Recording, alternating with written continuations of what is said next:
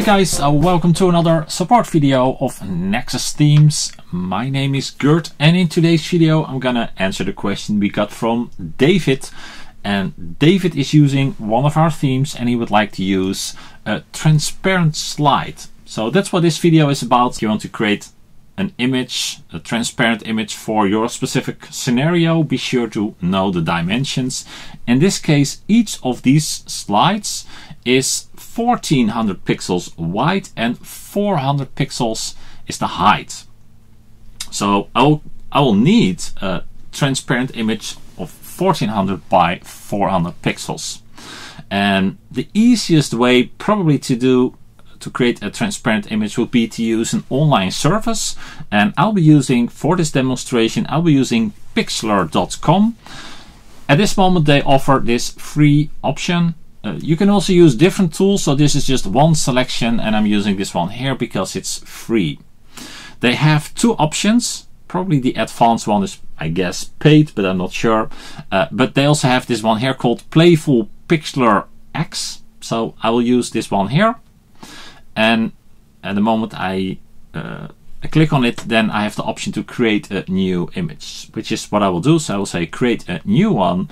By default they have certain dimensions that you can pick which are the default thumbs that you can see over here on the in the main content.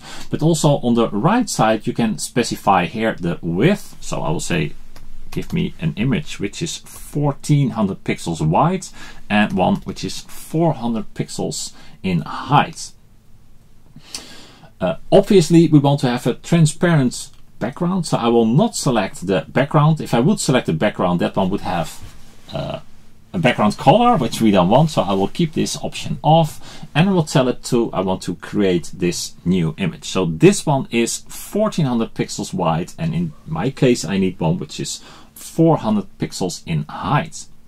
And that's the only thing we need. We, we can simply store the image. Let me see, where is the save button. Oh, there, there it is at the bottom, save. And I can tell it to use a particular uh, file extension. And here, be sure to use the PNG one. I think you can also use the WebP format, but uh, use the PNG one and don't use the JPEG one. The JPEG one will be smaller, but that one does not support transparency.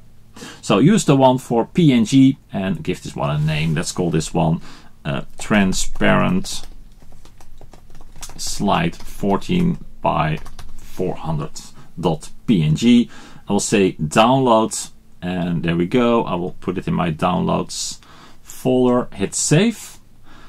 And the next step would be to import that one into the in this case WordPress website. So I will select one of these slides and let's say I want to replace all the, the slides here then I will click on the button to edit that individual slide. I will say uh, select a new one, upload one, which would be the one in my downloads. Oh, that's this one here.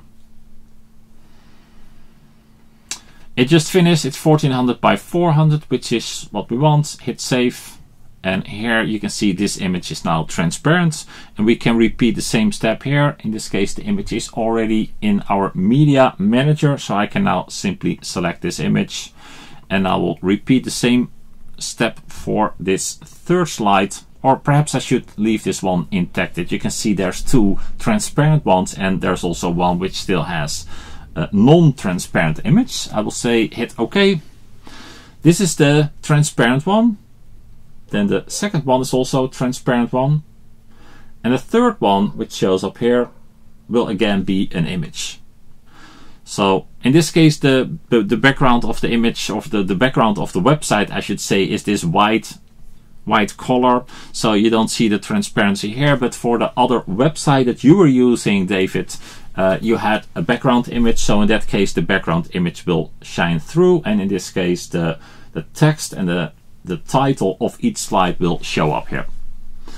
Alright, I hope this was helpful. I hope by now you've learned how you can make transparent images of a particular dimension, a particular width and a particular height using the pixlr.com free online tool. It's a great tool. I can highly recommend it. Works uh, flawless as you can see here. So thumbs up for Pixlr.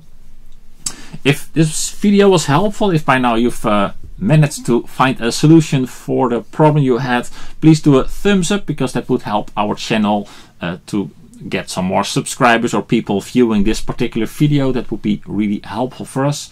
And also if you like this video and you want to be kept up to date on all new videos we're posting be sure to hit that subscribe button and be sure to also click on the bell icon next to it if you want to be kept up to date on all new videos that we're posting okay guys uh, thanks very much for watching and catch you in the next support video. Bye bye